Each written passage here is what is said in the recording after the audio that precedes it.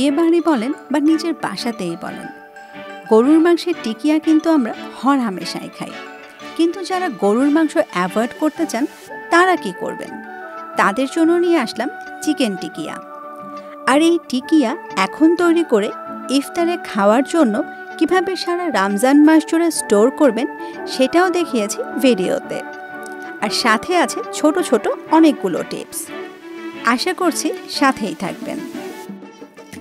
আমার দর্শকদের মধ্যে অনেকেই গরুর মাংস অ্যাভয়েড করতে চান। তাদের জন্য মুরগির মাংস দিয়ে টিকিয়া তৈরি করে দেখাচ্ছি। আর তাই হাড় চর্বি ছাড়া মাংস নিয়ে নিলাম পাঁচশো গ্রাম। ছোলার ডাল নিয়ে নিচ্ছি এক কাপ। তবে ডালগুলো নেওয়ার আগে আমি নর্মাল পানিতে তিন ঘণ্টার মতো ভিজিয়ে রেখেছিলাম। এতে করে ডালগুলো সফট হয়ে যাবে এবং তাড়াতাড়ি সেদ্ধও হয়ে যাবে। দুটি তেজপাতা, দু টুকরো দারুচিনি তিন চারটি ছোট এলাচ আর চার পাঁচটি লং নিয়ে নিলাম। আদা বাটা এক টেবিল চামচ, সেই সাথে রসুন বাটাও এক টেবিল চামচ। পেঁয়াজ কুচি নিয়ে নিলাম আধা কাপ। চার পাঁচটি কাঁচা মরিচ আর তিন চারটি শুকনো মরিচ। এক চা চামচ শুকনো মরিচের গুঁড়ি, হলুদের গুঁড়ি কোয়াটার চা চামচ, লবণ এক চা চামচ। ধনে গুঁড়ি এক চা চামচ, সেই সাথে জিরা গুঁড়িও এক চা চামচ। মোট কথা মাংস রান্না করতে যে যে মশলাগুলো লাগে, তার সব কিছুই এখানে দিতে হবে। পানি দিয়ে দিলাম। পানির রেশিওটা আপনাদের একটু বুঝিয়ে বলি। এমনভাবে পানি দিতে হবে যেন ডাল, মাংস খুব সুন্দরভাবে সেদ্ধ হয়ে যায়। আবার এক্সট্রা কোনো পানিও না থাকে। আঁচটা একদম ফুল রেখে রান্না করব। তবে মাঝে মাঝে ঢাকনাটা খুলে একদম নিচ থেকে একটু নেড়ে চেড়ে দেব। আজকের টিকিয়াটা আমি ছোলার ডাল দিয়ে তৈরি করছি। তবে আপনারা চাইলে অ্যাঙ্করের ডাল দিয়েও তৈরি করতে পারেন। মোট কথা বেসন তৈরি করা যায়, এরকম যে কোনো ডাল দিয়ে টিকিয়া তৈরি করতে পারবেন। দর্শকদের অনেকেই জিজ্ঞেস করবেন, এই সেদ্ধ করার কাজটা প্রেশার কুকারে করা যাবে কি না আমি আসলে প্রেশার কুকারে কখনো করে দেখিনি। আপনারা যদি প্রেশার কুকারে রান্নায় এক্সপার্ট হয়ে থাকেন, তাহলে অবশ্যই করতে পারেন। তবে শুধু খেয়াল রাখতে হবে যেন ডাল আর মাংসের গায়ে কোনো পানি না থাকে। দেখেন পানি কিন্তু শুকিয়ে গেছে। এবার চুলোর আঁচটা মিডিয়াম করে দিয়ে আমি পানিটাকে আরও শুকিয়ে নেব। একটু নাড়াচাড়া করলে বাকি পানিটুকু একদমই টেনে আসবে। পানি যদি একদম শুকিয়ে না নেই তাহলে টিকিয়ার বাইন্ডিংটা কিন্তু ভালো হবে না। একটা ডাল টিপে দেখলাম। খুব সুন্দরভাবে সফট হয়ে গেছে। এবার এগুলোকে ফ্যানের নিচে রেখে একদম ঠান্ডা করে নিচ্ছি। মিক্স করতে চলে আসলাম। সামান্য একটু পুদিনার পাতা আর ধনে পাতা নিয়ে নিলাম। তবে পরিমাণটা একেবারে আপনার টেস্টের উপর ডিপেন্ড করবে। এবার সেই ঠান্ডা করে রাখা ডাল মাংসগুলো এখানে দিয়ে দিচ্ছি। আচ্ছা আমি যে গরম মশলাগুলো, মরিচগুলো দিয়েছিলাম সব কিছুই কিন্তু এখানে দিতে হবে। কোনো কিছুই কিন্তু বাদ দেওয়া যাবে না। এক চা চামচ চিনি নিয়ে নিলাম, আর টিকিয়াতে কিন্তু চিনি দিতেই হবে। টেলে নেওয়া জিরা গুঁড়ি এক চা চামচ, আর আমার ঘরে তৈরি করা গরম মশলার গুঁড়ি এক চা চামচ। পেঁয়াজ বেরেস্তা দিয়ে দিচ্ছি আধা কাপ। আচ্ছা গরম মশলা আর পেঁয়াজ বেরেস্তার লিঙ্কগুলো কিন্তু ডেসক্রিপশন বক্সে দেয়া থাকবে। একটা ডিম নিয়ে নিলাম। মাঝারি সাইজের একটা লেবুর রস পুরোটাই চিপে নিয়ে নিচ্ছি। ধনে পাতা, পুদিনা পাতা আর লেবুর রস। এই তিনটার পরিমাণ যদি একটু কম বেশিও হয়, কোনো সমস্যা নেই।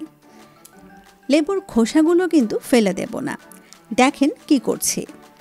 লেবুর যে পেছনের সবুজ অংশটা আছে, সেটা একটা গ্রেটার দিয়ে গ্রেট করে নিচ্ছি। আর এটাকেই কিন্তু লেমন জেস্ট বলে। তবে গ্রেট করার সময় একটা জিনিস খেয়াল রাখব, শুধু সবুজ অংশটাই নেব। সাদা অংশটা কিন্তু গ্রেট করে নেব না। সাদা অংশ চলে আসলে খেতে কিন্তু তিতা লাগবে। আর পুরো লেবুর খোসাটাই কিন্তু আমি গ্রেট করে নিচ্ছি। খোসাটা আপনাদের একটু দেখিয়ে দিচ্ছি। দেখেন, শুধু সবুজ অংশটাই কিন্তু গ্রেট করে নিলাম। এটা চাইলে আপনারা অ্যাভয়েড করতে পারেন, তবে দিলে কিন্তু অসাধারণ একটা ফ্লেভার পাবেন।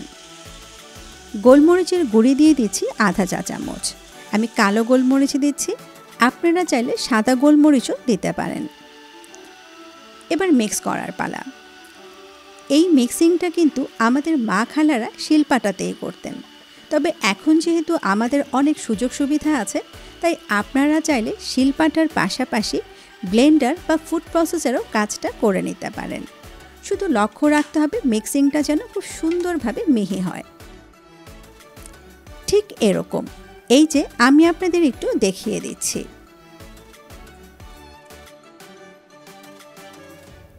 এবার টিকিয়ার শেপ করার পালা।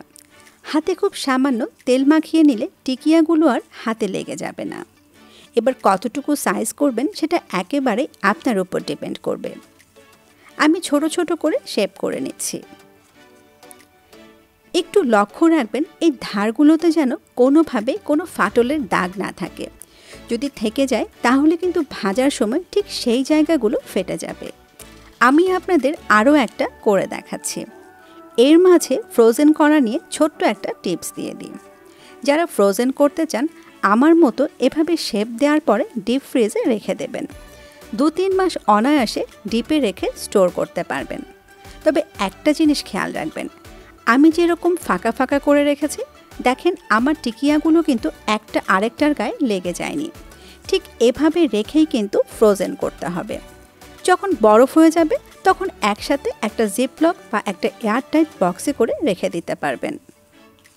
আর ভাজার ঠিক দশ পনেরো মিনিট আগে বের করে রেখে তারপরে ভেজে নিলেই হয়ে যাবে। ভাজতে চলে আসলাম। টিকিয়া কিন্তু সবসময় ডুবো তেলেই ভাজতে হবে। তেলটা গরম করার পর টিকিয়াগুলো ছেড়ে দিয়েই চুলোর আঁচটাকে মিডিয়াম করে দিতে হবে। এরপর মিডিয়াম আঁচেই উল্টে পাল্টে ভেজে নিতে হবে। ভাজার ব্যাপারে ছোট্ট আরেকটা টিপস দিয়ে দিন একসাথে কিন্তু অনেকগুলো টিকিয়া ভাজতে যাবেন না। তেলের মাঝে যেন পর্যাপ্ত পরিমাণ জায়গা থাকে। নাড়াচাড়া করার সময় যেন একটা আরেকটার গায়ে লেগে ভেঙে না যায়। যেহেতু সব কিছুই সেদ্ধ করা, তাই টিকিয়াগুলো ভাজতে কিন্তু খুব একটা বেশি সময় লাগবে না। দেখেন আমারগুলো হয়ে গেছে, আর কালারটা দেখতে পাচ্ছেন? ঠিক একইভাবে আমি সবগুলো টিকিয়া ভেজে নিচ্ছি। আরও একটা ছোট্ট টিপস দিয়ে দিই।